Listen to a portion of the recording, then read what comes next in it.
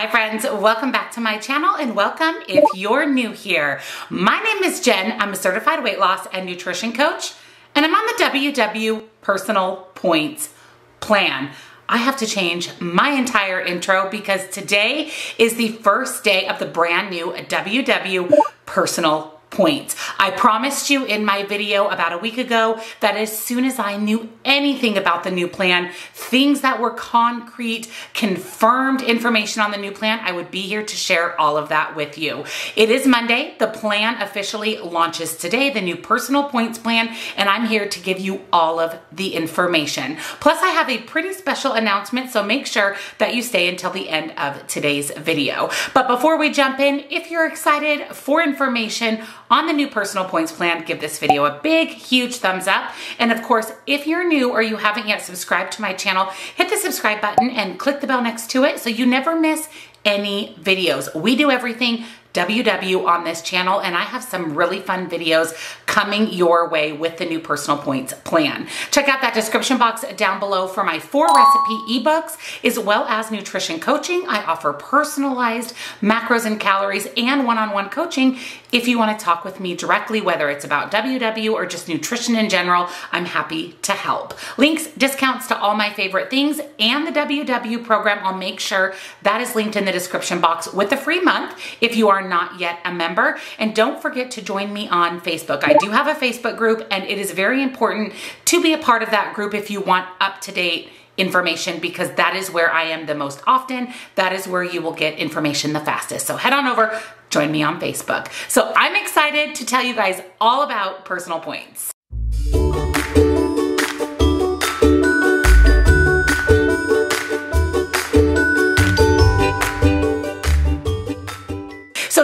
Today's video, I'm going to be inserting screenshots and information from WW directly, as well as questions that were asked in virtual workshops and the answers that were given from the WW coaches and their support staff. So I'll be inserting a lot of information in today's video for you as well. So first I mentioned that the new plan is called Personal Points. There is no more blue plan, green plan, or purple plan. Those plans have been eliminated and one singular plan called Personal Points is now what we follow on WW. And because it's called Personal Points, it's personal. It's going to vary from person to person. Now there are some things that will remain the same same amongst everybody, but the majority of the plan, including your zero point foods, how many points you get in a day, all of that is going to be personalized to you. So as of this morning, your app should have automatically updated to the new personal points program. If you log into your app and it looks the same as it did before, one of two things need to happen. Number one, you need to update your app in your app play store or Worst case scenario, you may need to delete the current app and reinstall for the app changes to take place. So first let's talk about what is staying the same. We know that the blue plan, the green plan, the purple plan, those are all changing, but what is staying the same? First of all, we will still have the option to earn a blue dot. That blue dot, of course, is going to be based on your personal plan, but you will have the option to still earn a blue dot. The parameters of the blue dot remain the same. There will still be weekly points for everyone. There is a difference with the weekly points, and that is that that number of points that you receive on a weekly basis is going to change throughout the week and also may be different from others based on your zero point foods and your daily points target. We're going to deep dive into that here shortly. There will still be rollover points. You have the option to earn four rollover points every day, and those points will be added to your weekly points budget. And we know that you don't have to use your weekly points budget. You do not have to use your rollovers. However, I highly, highly encourage you to eat all of your points, including your weekly, so that you make sure that you're eating enough calories on your program. We still do not have to track zero point foods. So from the start, we have not had to track weigh, or measure our zero point foods. That remains the same with personal points. Just keep in mind with zero point foods to stick with a serving. Just because rice could potentially be zero points for you doesn't mean that you should eat three or four cups of rice with your meal. Try to stick with a serving or close to one serving size. Non-starchy vegetables will be zero points for everyone, just like they were when we followed the different colored plan. So any non-starchy vegetable is zero points across the board. We still have the barcode scanner that will continue to remain the same on the new personal points program. You'll be able to scan all of your favorite foods and the points value personalized to you of those foods will pop up on your barcode scanner and you'll be able to track them as always in your app. We will continue to have wellness wins. So if you have wins stacked up, you have points earned, you will be able to continue to earn those and redeem those for the wellness wins products. Any tools that you've purchased from your WW workshop will still work with the new personal points plan. So you'll be able to continue to use any types of food scales, weighing and measuring devices, or whatever tools you've picked up from your WW workshop. So now let's talk a little bit about the new personal points program. Some of the things that will be changing, some of the things that you should be expecting when it comes to the new plan. Before we jump into the nitty gritty or all of the details, let's talk a little bit about why we have zero point foods. How are zero point foods determine And why exactly does WW give us foods because all food has calories and calls it zero points. So first of all, why are zero point foods actually zero points? They're wholesome nutritional powerhouses, AKA zero heroes, you can think of as your grocery shopping go-tos. Because they form the foundation of a healthy pattern of eating,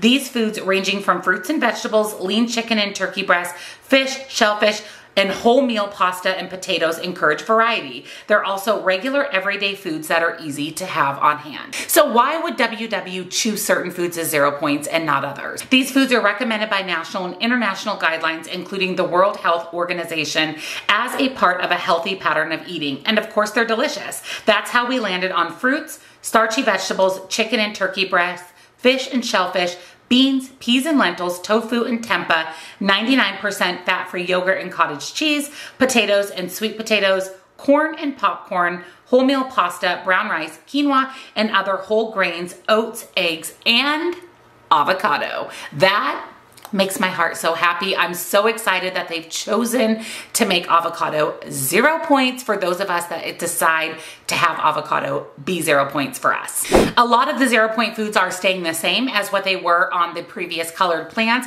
but there have been some new and exciting zero point foods added to the list. Avocado, tofu, and tempeh and 99% non-fat cottage cheese has been added to the list of zero points. As you guys know, I'm really excited about avocado being on that list, but I'm glad that they've incorporated some vegetarian options and cottage cheese because it's such a big protein bang for the calories that are in cottage cheese that it's nice that that's been added to the zero points list as well. So now let's talk a little bit about exactly what personal points is. Like I mentioned, it is a program that is personal to you, which basically means everybody's plan is going to look a little bit different. So my plan is going to look different than your plan. And that comes in every facet of personal point. Not everybody's points are going to be the same. Not everybody's zero point foods are going to be the same.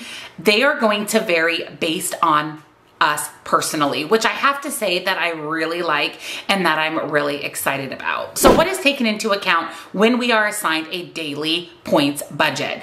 As always, age, height, weight, and gender have always been taken into account. That's why you'll see that not everybody had 23 points on blue or 30 points on green because those four factors were taken into account. Now the food preferences, the foods that we choose, the foods we eat, the foods that are zero points, those are now going to play a factor in how many daily points we receive. So basically what that means, again, is that my daily points and your daily points, even though we may be the same age, the same height, the same weight, are going to vary. Your daily points, your weekly points are going to be based around the foods that you choose to be zero points. Now you're probably wondering, how do I choose my zero point foods? When the app is updated and you first log in, you will be taking a questionnaire. Based on that questionnaire, you will be signed a list of zero point foods. You'll be able to go in and modify those zero point foods. You get to essentially select the foods that you want to be zero points. I would suggest that you stick with whatever plan whatever configuration of the plan that you choose, whatever zero point foods you choose for at least one to two weeks before going in and switching your zero point foods. So you do have the option to go in and switch what foods are zero points for you, but I recommend giving it a solid try and sticking with it for at least one to two weeks before making any changes. We don't really know if it's working until we've given it the old college try. Another thing to keep in mind is that points values of foods have changed. So points go up when the food contains added sugar and saturated fat. Now the points will go down in some foods based on its fiber content, its protein content, and its unsaturated fats. I'm really excited that they've reintroduced fiber into the calculation because fiber in your food is so important, not only to keep you regular, but also to keep you full and satisfied. And fiber should be taken into consideration when determining point values of foods. So pretend like you're brand new to WW. Like this is day one and you have to scan everything, you have to look everything up because essentially that's what we have to do now because some of the foods that we eat all the time, some of our favorite foods, the points values are very likely different based on the factors of saturated fat and added sugar. So make sure that you are looking up all of your favorite foods, that you are tracking accurately and making sure that the points that you're tracking are the points on the personal points plan because they very likely could have changed. One example of where we're seeing a change is in pasta.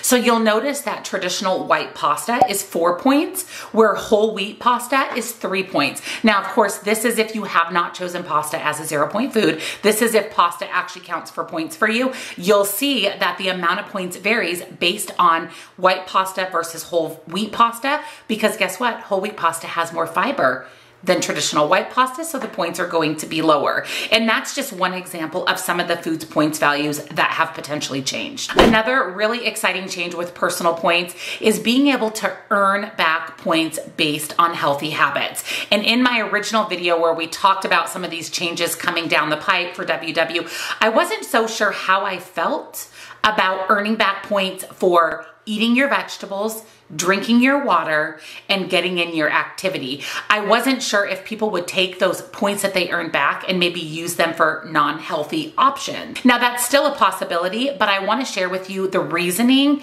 and the nitty gritty behind earning back points for eating your vegetables, drinking your water, and doing your activity. So first, let's chat a little bit about veggies. For every one cup of vegetables that you track, so these are going to be non-starchy vegetables, you are going to earn one point back into your daily budget. And this is unlimited. So if you eat three, four, five, six cups of vegetables every day, then you have the option to earn back three, four, five, six points into your daily budget. And remember, we still have rollovers. So if you don't end up eating all of those points that day, they'll roll over into your overall weekly points. When you drink 60 ounces of water and you track that in your app, you're going to earn back one daily point. Now this is limited to one point, so this is not unlimited. So if you drink a gallon of water every day or two gallons of water every day, you still can only earn back one point. This isn't an unlimited earn back of points. It's simply one points for drinking 60 ounces or more of water every day. And then I wanna talk about activity. Fit Points is going away. Fit Points is no longer,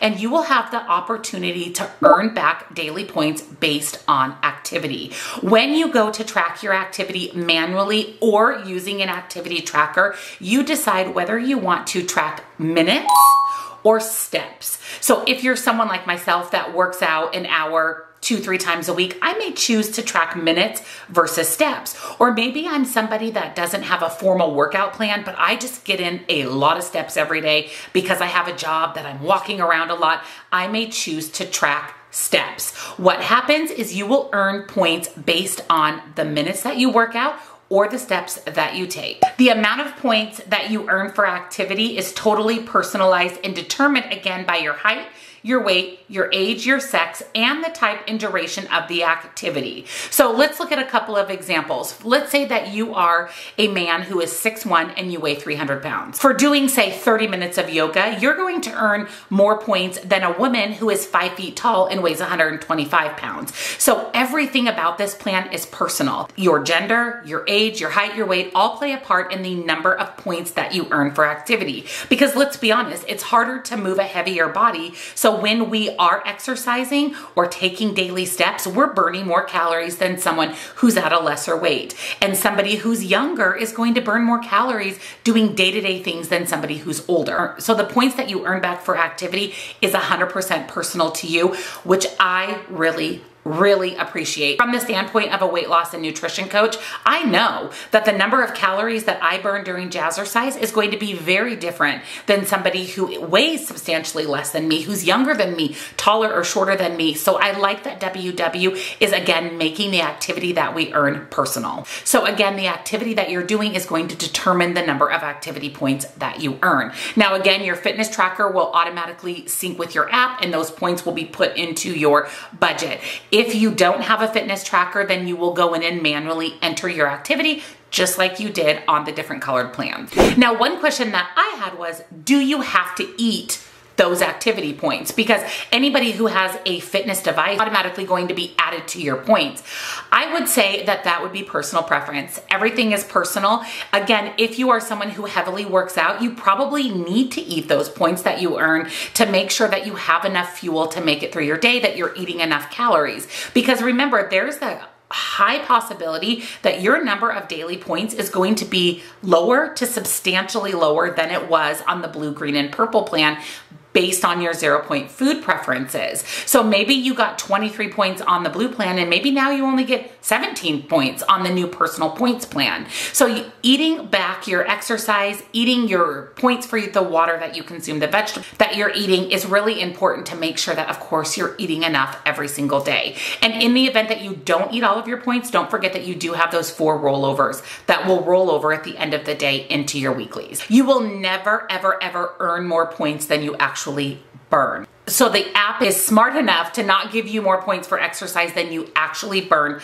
based on your information, your height, your weight, your gender, and the activity that you're doing. Like I mentioned, the app automatically updated today. It doesn't really matter what day you weigh in or what day you attend your workshop. The app updated today for everybody. You just keep doing what you're doing. If your weigh-in day is Friday, the app knows that and is going to continue to keep your weigh-in day is Friday. Just the personal points plan takes effect today. It really is is irrelevant what day of the week that you weigh in. Nothing will change when it comes to that. If you are a lifetime member, you will just need to make sure that you go into your settings and you adjust them to being a lifetime member or being into weight loss mode. And again, the app is designed to automatically update points for being a lifetime member. So no fear if you are lifetime, the personal points plan will automatically do the work to make sure that you're eating enough at maintenance. I do wanna touch a little bit on the rumor of having a diabetic plan.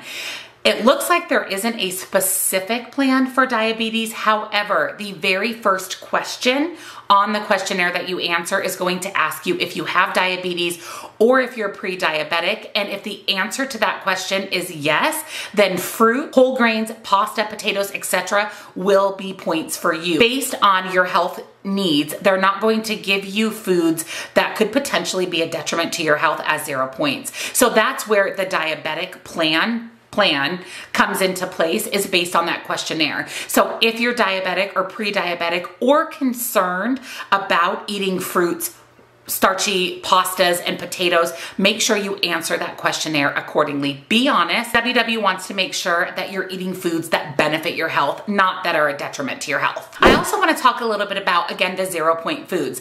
There are 14 categories of zero point foods, and there's hundreds of foods that fall into these 14 zero point categories. So I wanted to share with you again what the categories are that you'll be able to choose zero point foods from. Non-starchy vegetables, which are zero points again for everybody. Fruit, eggs, yogurt and cottage cheese. This is plain non-fat yogurt and non-fat cottage cheese. Fish and shellfish, chicken and turkey breast, beans, peas and lentils, tofu and tempeh, oats and oatmeal, brown rice and other whole grains, potatoes and sweet potatoes, whole grain pasta and noodles, corn and popcorn. And then of course, new with the personal points program is avocados, which as we already know, this girl's really excited about. I know this is a lot of information and I know that it can be really overwhelming, especially if you're somebody who just doesn't like change. And I have so many people from my previous video that have reached out to me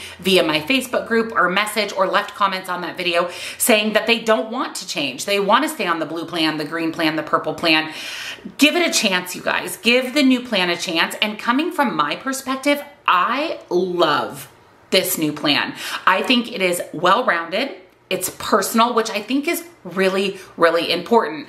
If you take the example of somebody who's diabetic or pre-diabetic or vegetarian, vegan, gluten-free, the WW plan should be personal to them. They should be able to follow a plan that meets their health needs. And now WW is giving us that option, which I think is absolutely incredible. Change is hard. You guys, change is hard for everybody, but embrace it give it a chance and it may actually end up being the best program that WW has put out so far. And spoiler alert, it's already looking to be the best program so far. I have some concerns still. I have some reservations. I'm my big, big concern is making sure that you're eating enough calories every day. No matter what your zero point foods are, no matter how many points you get every day, my concern is making sure that we're eating enough to lose weight in a healthy, sustainable way. We don't wanna do damage to our metabolism by not eating enough. And that's why I've stressed that it's important to eat your points that you earn for activity, the points that you earn for vegetables, the point that you earn for water. But it's even more important to take the quality of the foods that you're choosing for those extra points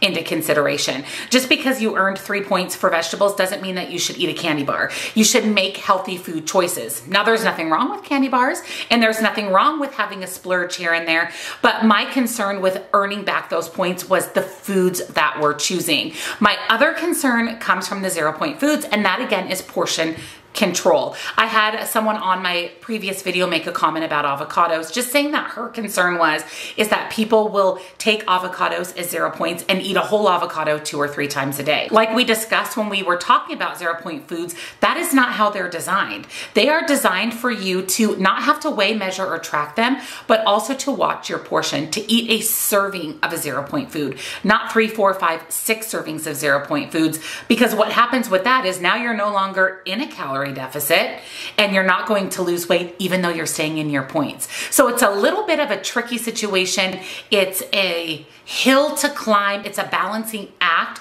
but zero point foods are designed for you to eat a portion and not have to weigh, measure, or track them guiding you towards making healthier food choices. So those are my main concerns about the program. I'm interested to see how they play out. One question that I've been asked over and over when we first talked about the personal points plan is how is this going to affect what we share here on YouTube, our recipes, the points of our recipes, the points I share in my grocery hauls, how is that all going to affect you when it comes to YouTube content. I can't speak for other content creators, but my plan is, is to keep doing what I've been doing. I'm going to be sharing the points on my grocery hauls. I'm going to be sharing the points in my what I eat in a days. I'm going to be sharing the points on all of my recipes based on my app, which basically means that if there's avocado in my recipe, for me, it's going to be zero points. If you chose not to have avocado, then you would need to make sure that you are adding in the points for avocado. I plan on doing most of the work for you by giving you the points of the recipe. And a lot of the ingredients and the pieces of the recipes aren't going to change amongst us. It's really just going to be a lot of those zero point foods. And based on the point based on the zero point foods that we've chosen, that could affect the overall points of the recipe. So my recommendation for you would be to take the recipe. Of course, you can take the step-by-step -step ingredients, all of the ingredients that are used, and just double check it in your app. Enter it into your recipe builder to make sure that it's the same for you. Now, if the ingredients that I'm using are also your zero point foods, then it's going to remain the same. You're just going to have to take, I guess, that little bit of personal accountability to make sure that the points are the same for you as they are for me. Nothing's changing here. I'm going to continue to share recipes. In fact, I'm going to be sharing more recipes and more things when it comes to ideas for food, healthy recipes, great ways to use those points that we earn from water and vegetables. So nothing's changing here. So I'm excited to be able to still continue to bring you recipes, grocery hauls, what I eat in a day is all the videos that you guys truly love and of course the videos that I love recording as well. I definitely want to know from you guys what your thoughts are on new on the new personal points plan and kind of what your thoughts are on these options of having things like avocados be zero points. Like I mentioned, there's a lot of information in this video. This video could be an hour long. There are so many questions that you're going to have. There's questions that I have. There's more information that I want to share. So what I'm going to do is today, Monday, the day that the personal points Points program launches, I'm going to be having a live here on YouTube where I'm going to be answering any additional questions that you have to the best of my ability so that we can make sure that you get your questions answered and that we all start off personal point points on the best foot possible. So I'm going to go ahead and put here on the screen the time of the live. So make sure you come back,